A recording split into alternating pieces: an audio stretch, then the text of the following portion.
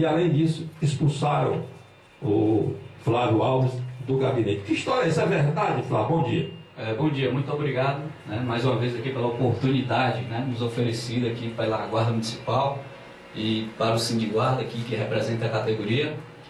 Ontem nós estivemos na Câmara Municipal, né, onde a gente foi citar algumas coisas que se encontram em aberto dentro da categoria, principalmente no quesito EPI EPC, né, para que nós possamos desempenhar um bom serviço dentro do nosso município.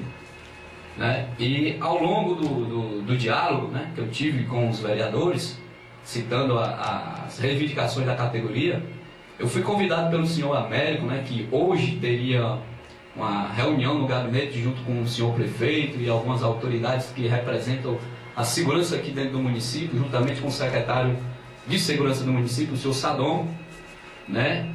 Eu aguardava lá os vereadores que fazem parte da Comissão de Segurança Pública, que é o senhor Américo, a senhora Cristina do Diogo, o senhor Zé Almir. Me deparei com a senhora Cristina e ela me convidou a entrar e acompanhá-la.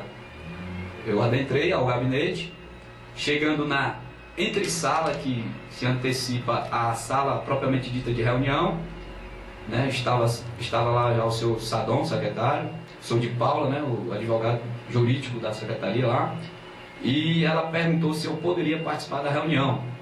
De imediato ele se posicionou dizendo que eu não era parte, que eu não poderia participar. Então ela disse, Alves, você aguarda aí, ou posteriormente eu ligo para você. Eu resolvi aguardar né, entre sala. Demorando mais ou menos em torno de 25 a 30 minutos, chegou uma guarda companheira, Gene Silvia, onde ela foi determinada a repassar uma informação que eu teria que me retirar daquele local. Eu perguntei por quê. Ela disse porque eu não era parte da reunião. Aí eu disse, não, eu fui convidado pelo seu Américo. É, mas ele não se encontra. Aí eu perguntei, de que é a determinação? Ela disse, é do senhor prefeito. Mas nem lá ele se encontrava ainda, porque estavam aguardando ele para a reunião. Eu me sentindo ofendido pela atitude tomada da companheira, que eu estava lá para defender interesses da categoria, não interesse individual, e sim interesse coletivo, vim à delegacia, né, prestei um boletim de ocorrência, em seguida vai ser transformado em TCO, porque a gente vai vir com a representação advocacional do sindicato.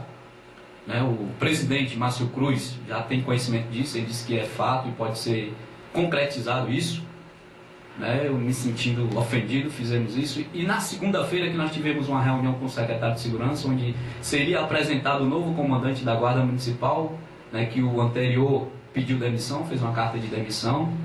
Não sei por qual motivo, se foi motivo particular, mas logo após o sindicato ter tido uma informação junto ao TCN, né, que existe um montante a ser executado este ano, né, para Gerenciamento e suporte da Guarda Municipal de Calcaia no valor de R$ 3.635.860, onde a gente mandamos né, via sindicato pedindo esclarecimento desse montante, né, tanto mandamos para a ouvidoria, para a procuradoria, para o Ministério Público aqui de Calcaia, para os vereadores, para a comissão, para o próprio secretário e para o ex-comandante da Guarda. Né? Após três dias ele faz uma carta pedindo demissão. Na segunda, né, ia ser apresentado um novo comandante da guarda, seria o capitão César, o chefe da segurança do senhor prefeito. O senhor Sadon disse que, por motivos particulares deles, ele não iria assumir o comando da guarda. Então, hoje nós só temos a subcomandante, que é a Rafaela, certo? E, mediante a isso, dentro dos fatos lá citados com relação à guarda, equipamento, EPPC, ele nos apresentou três S10 novas, né, dizendo que seria para a guarda. E eu indaguei se as três seriam de exclusividade da guarda. Ele disse, não. Uma é para a guarda, a outra é para a minha secretaria e a outra é para a Secretaria de Defesa Civil. Aí eu perguntei, não, mas é só um? Nós somos 97 homens, como é que vamos desempenhar? Nossos equipamentos aqui ainda é da gestão retrasada ainda.